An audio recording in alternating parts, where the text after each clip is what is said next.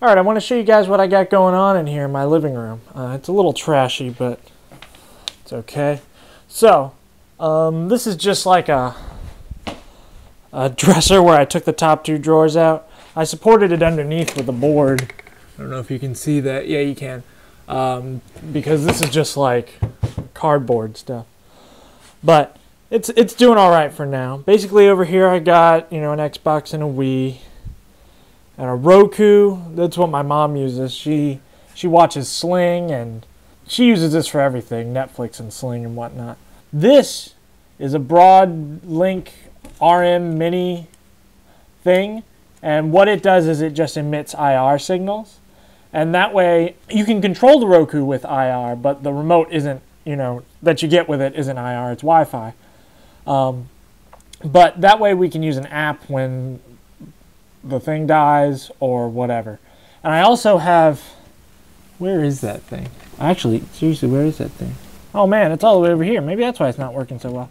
So I have this thing, which is a IR repeater. And basically when you send something to that, it sends it all the way up here uh, to this thing, which then, you know, blasts the TV. That's pretty useful. Most of the stuff is down here that you need the IR blaster for, but uh, you know, you got to be able to get to the TV. I think it comes out of the top here.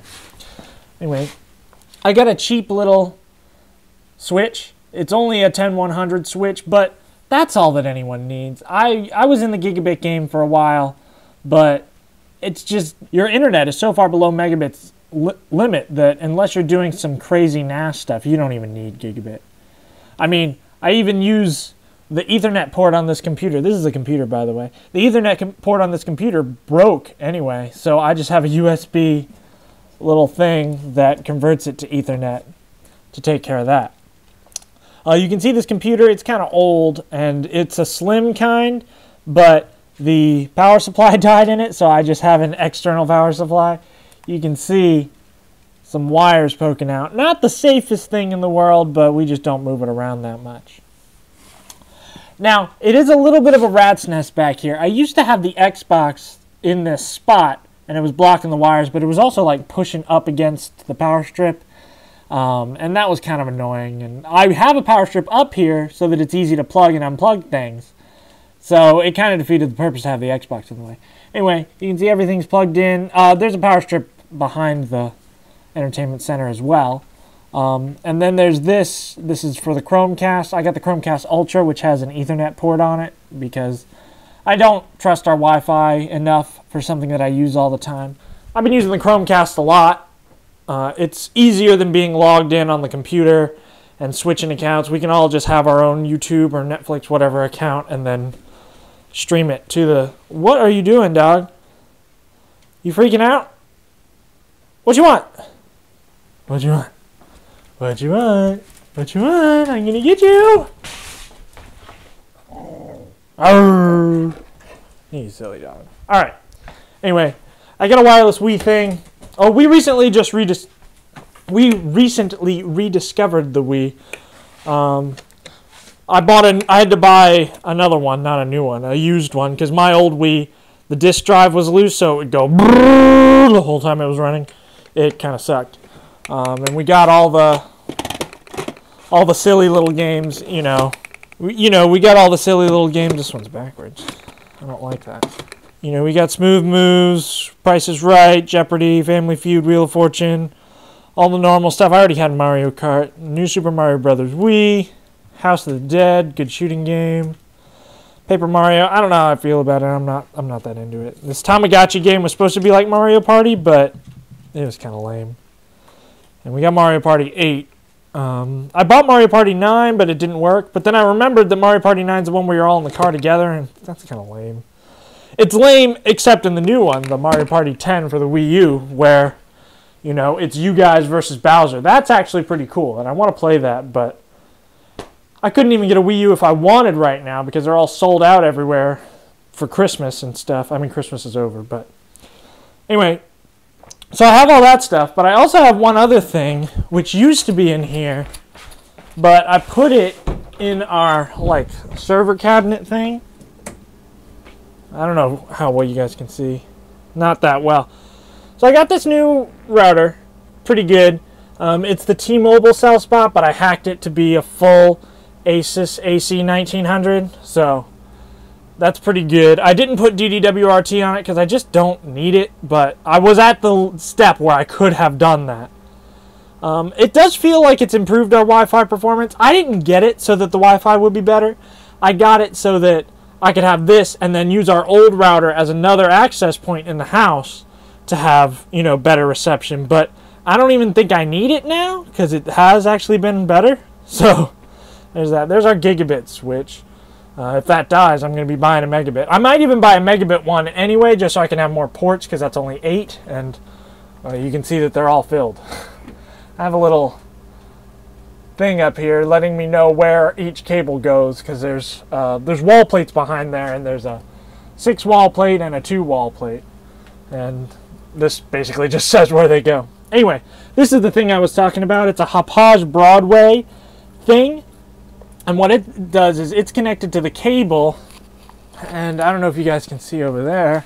Yeah that black thing is an antenna and it has a cable that goes all the way behind the fridge and connects to that. And these antennas aren't doing anything because I have it hooked up to ethernet but it could do Wi-Fi.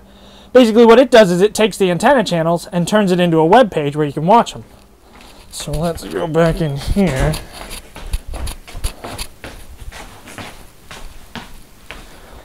And I'm going to show you guys how this Broadlink thing works right now.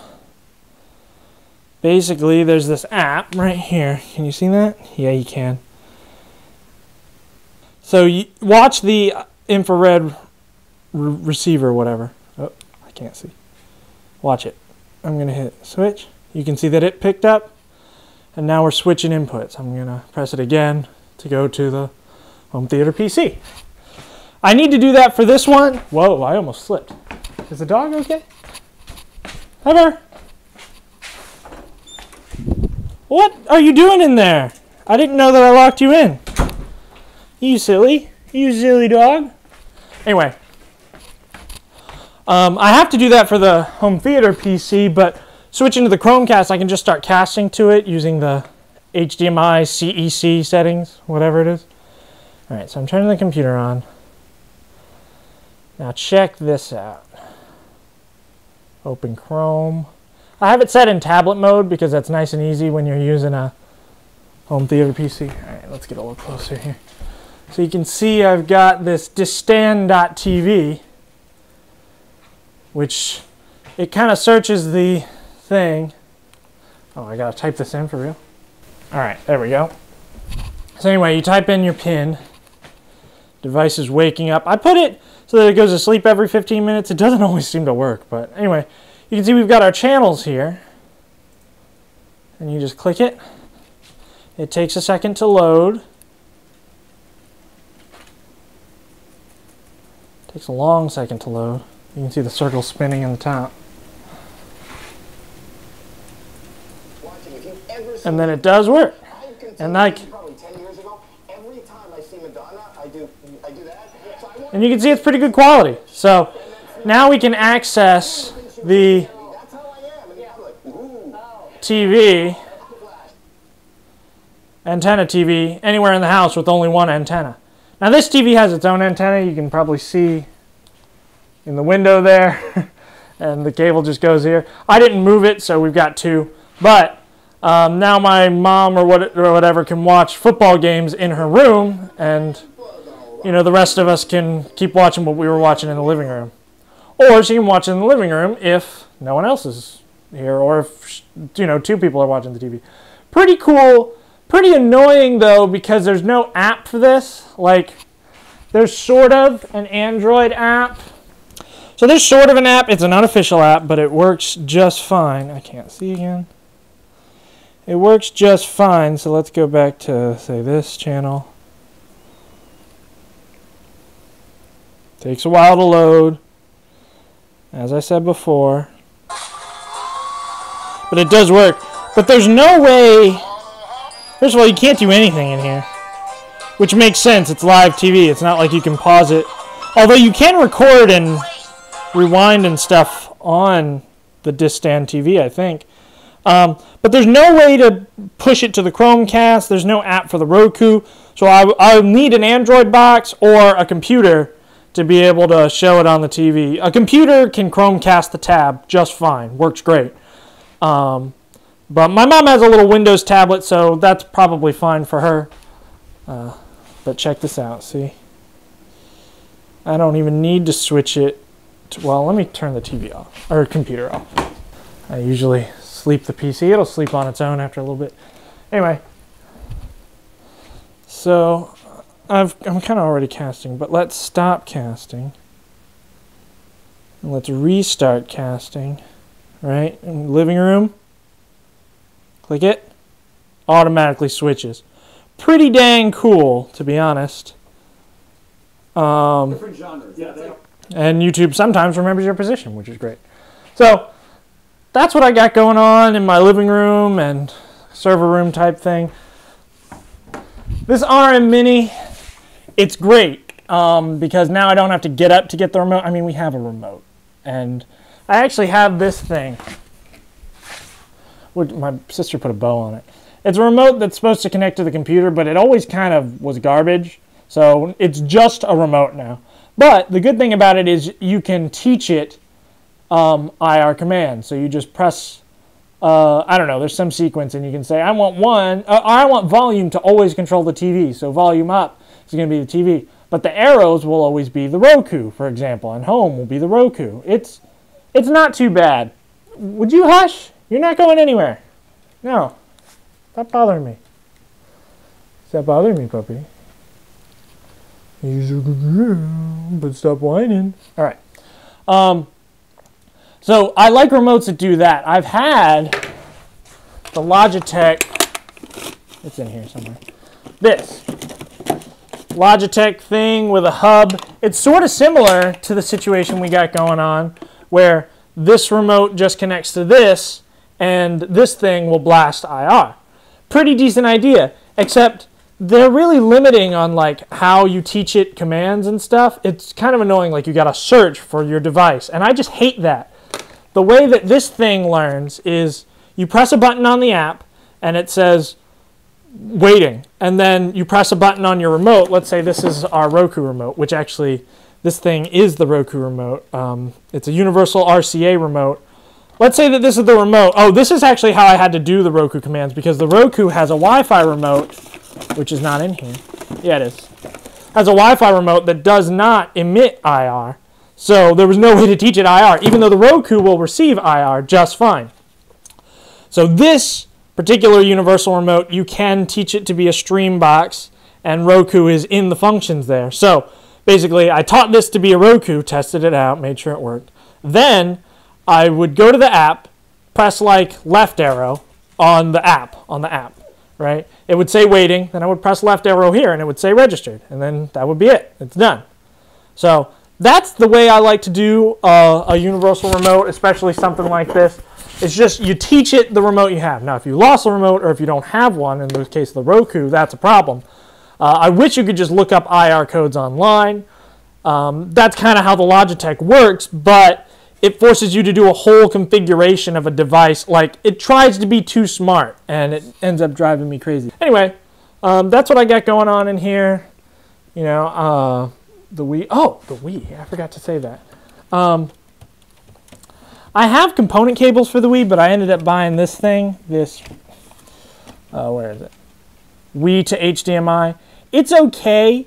It puts a little weird grain on top of the image, but I mean, it's 480p anyway, so. So it works and it makes it simpler so that I just have an HDMI and I'll switch that out if I ever use the Xbox again, which I haven't. Or I'll get an HDMI switch. I have three in my room. Um, not super a big deal. We don't use either of these all that much. Like I said, we've been rediscovering the Wii, but it's only for family time anyway. Put that back it just makes it simpler to set up the Wii rather than plugging in a hundred component cables ends. All right, so that's all I have for you. Um, you guys have any questions on my setup or why I did things the way that I did, you can let me know. Um, mostly I was doing this video to test out some audio equipment. I've got a microphone here. You can probably hear me when I tap it. Yeah. Um, I wanted to have better audio because the audio on this camera actually sounds kind of bad, even because it's an action camera. You know, it's not designed for audio. But I like how simple it is to just point. Like I cannot see the video feed right now. I'm just pointing at myself, and I know it's fine. Right? It's fine. It it handled the dark and the light and moving around pretty easily. Maybe it's a little shaky. I don't know, but we'll have to see. But anyway, I wanted a better microphone, so I got this thing and clipped it to me. Maybe it'll be okay in the wind too. I don't know. I doubt it. I'll probably have to put a little windscreen on it. Anyway, if you guys have any questions about my setup, let me know. Um, this is what I've been working on. I know that it's messy and not clean, but all the stuff, all the technology works together, and I'll work on cleaning it. I need to make uh, the computer a little tidier. That's for sure. I might get like a, a server rack case and put the computer in there and then make like a custom thing where maybe it'll be vertical instead of sideways and I'll just slide the computer in. That'd be pretty sweet. Uh, I don't like messing around with the tiny, tiny computer case because it's just, it's a nightmare to change anything. But anyway, thank you guys for watching. Let me know if there's any questions and I'll see you guys in the next video.